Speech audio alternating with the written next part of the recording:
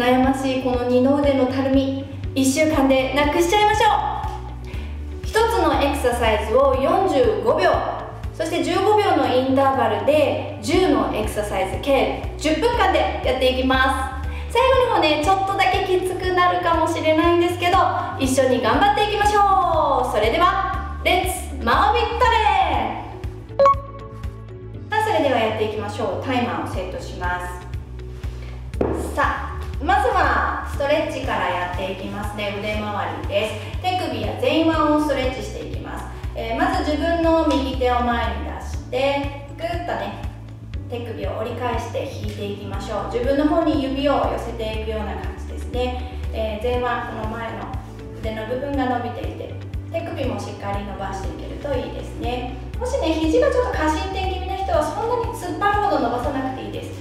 少し手首のテンションがかかってるな伸びてるなって感じるレベルで大丈夫ですよ。では反対。スムーズにしていきます。気持ちいいな伸びてるなっていう感じで大丈夫です。横に見せるとこういう感じ。はい伸びたなと思ったら今度は脇の下と三頭筋この辺もほぐしていきましょう。まずは自分の右手を上に持ち上げて左の肩キャッチしてください。で肘持ってちょっとね後ろに押しながら後ろ後ろに押しながら後頭部を取るようにして伸ばしていきます。脇腹の部分この下のね前鋸筋って言うんですけどこの辺の筋肉も伸びますし腕も伸びていきます。頭でちょっと押してあげるぐらい後ろに伸ばすといいですよ。反対しましょうか。手を変えて後頭部で少し腕を後ろにやってあげながらそして引っ張っていきます。脇腹も伸ばして腕もしっかり引っこ抜くもぎ取るように伸ばしていきまし呼吸で肩がねなるべく上がらないように肩自体はちょっと下げ目にしてそのまま横にそしてちょっと斜め後ろに、ね、引いていくように引いていきま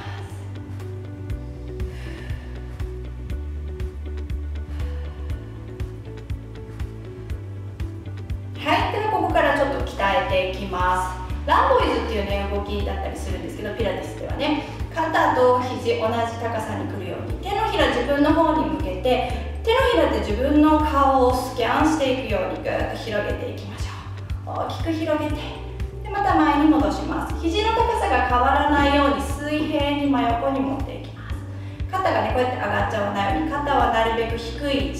肘の高さは変えないように吐きながら開いていきましょう。最後に肩甲骨ちょっとグッと寄せるようにしていくと体温まってもう2回。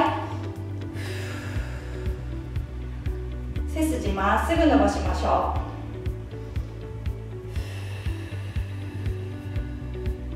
う。はいしっかり伸びたなと感じたら次の準備。次はですねおでこのところで三角作ってみましょうか。でここにガーッとエネルギーを集めます。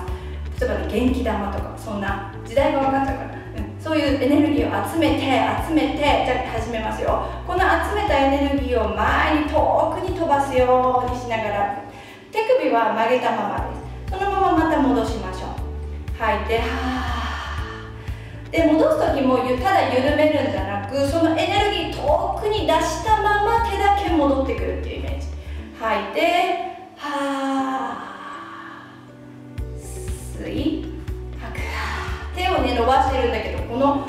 脇の下この辺りがぐっと力が入ってると正解です。緩めるんじゃなくてちゃんとエネルギーの集まりを遠くにまっすぐ飛ばすようにして。あと2回くらいいけそうです。吐いて。吸って。吐いて。OK そしたら今度ね脇を締めてここお皿がねなんか乗せられるような皿でも運べるようなぐらい水平にしておきましょう。そのまま自分の方にまず前に持ってきて手のひらを天井に向けたまま開いていきます。開ききった時肩甲骨キュッとちょっと寄せるような脇さらに締めるような動きしていきます。戻して吐きながら肩甲骨寄せながら脇さらに締めながら戻して吐いて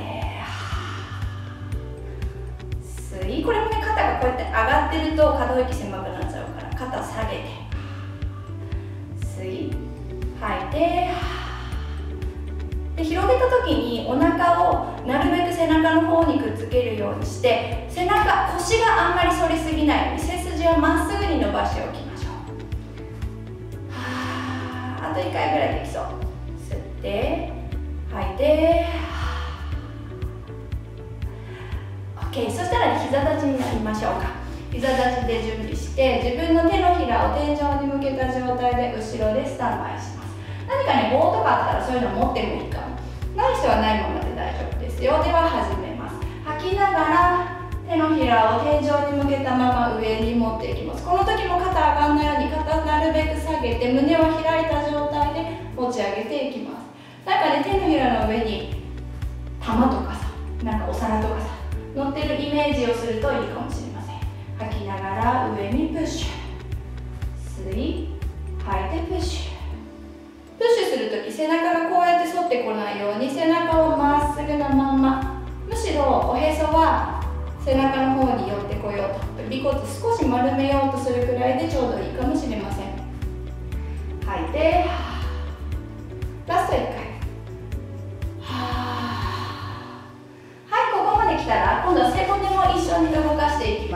いきましょうスパインストレッチやっていきます。ピラティスの動きですマット幅ぐらいに足を開いて両手前ならしたところでスタンバイします背中まっすぐその状態だときつい人は膝少し曲げてあげましょう両手前ならしてまっすぐこの後ろにある壁から後頭部から一つ一つ剥がしていくように前にダイブしていきます。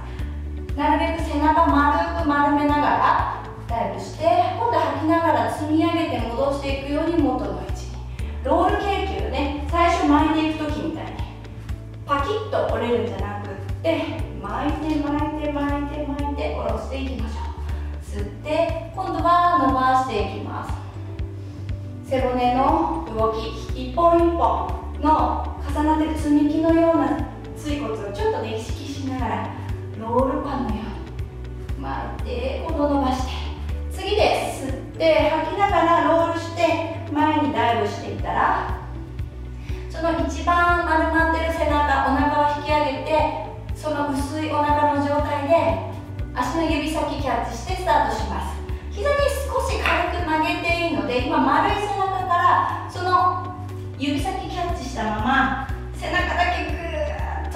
してお尻突き出していきます。尻尾をぐっと後ろから引っ張られるようなそんな感じで。す今度また丸く戻して肩甲骨もねちょっとぐっと離れていっちゃうとそれでいいので気持ちよく丸めてあげます。そしたらもう一度お尻を突き出して背中まっすぐになるように。今度まっすぐにするとね裏ももがギューッと効いてきます。ラスト1回できそう。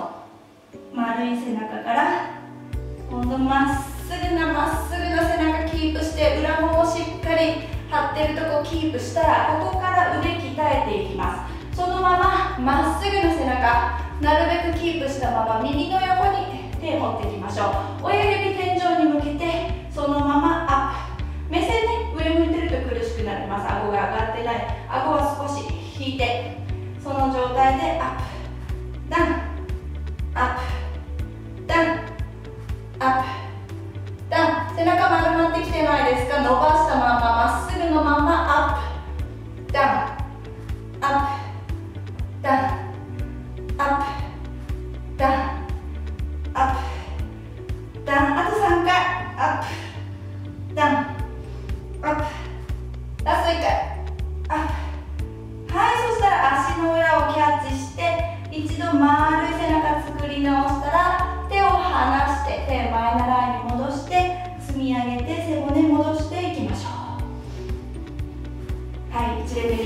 ました。次の動きサイドでやっていきます。サイドサイドのプランクですね。肘をついてその状態で肩安定させます。耳に肩近づいてこないようにぐーっと一番遠くにして耳と鎖骨が一番離れてる状態にしましょう。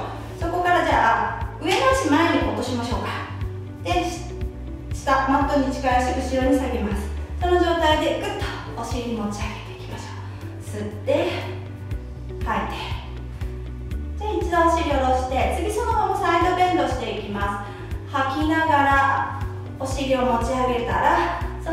T ポジション通ってお尻少し突き上げていくようにしながら脇腹もしっかり伸ばしていきます。戻してお尻を下ろす。ラスト吸い吐いて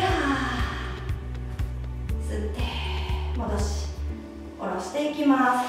反対やっていきましょう。よいしょ反対。では行きましょう。上の足前に。てよいしょ設定したら T ポジションベンドして伸ばしていきます。吸い足を下ろしてアップ。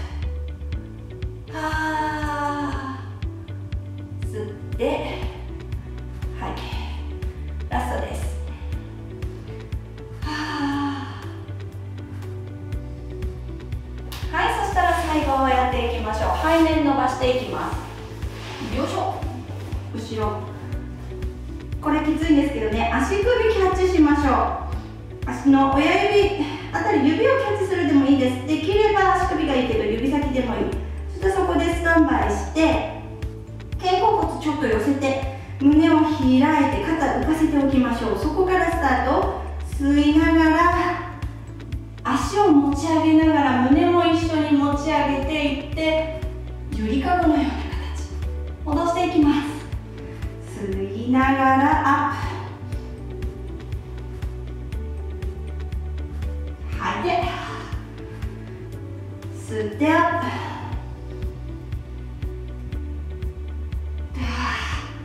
ラスト1回。吸いアップアップアップアップしてキープ。321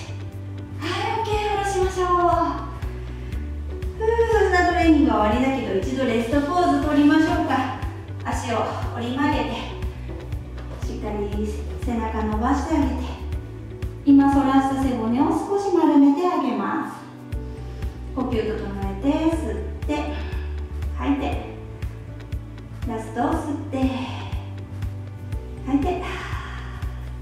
はいお腹見ながら起き上がってきます。さてマオビン二の腕トレいかがだったでしょうか？腕だけ動かすんじゃなくて後半は体全体背骨もツイストしたり側屈したり動かしていきました。体だいぶ温まったんじゃないでしょうか。1週間でぜひこのたるんだ二の腕解消していろんなね洋服着こなせるようになりましょう。またね